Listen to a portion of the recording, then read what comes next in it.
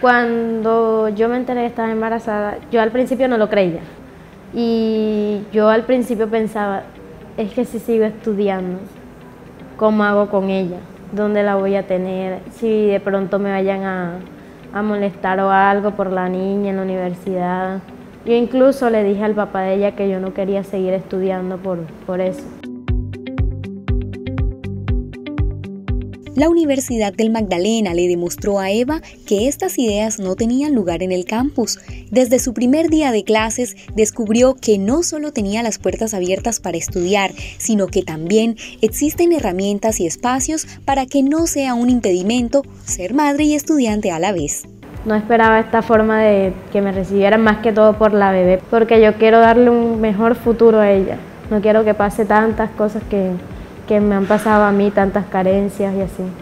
Eva ingresó a Unimagdalena gracias a su desempeño como mejor bachiller de su municipio, Fundación Magdalena.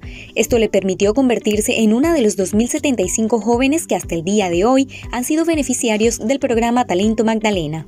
Yo las pruebas ICFES las hice ya basada en la comprensión lectora.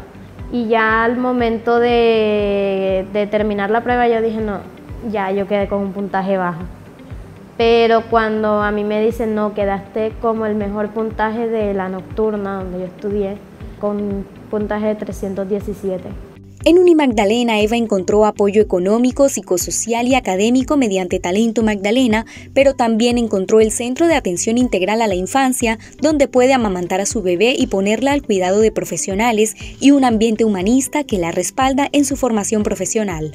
Me habían contado, sí, que había un punto de, primera infancia, me siento más tranquila. Porque ya digo, ella va a estar conmigo y la verdad siento demasiado apoyo, sí agradezco estos espacios, porque es una ayuda más. Hay muchas mujeres que son madres solteras y no cuentan con apoyo de nadie para cuidar a sus hijos. Aún más incluyente e innovadora.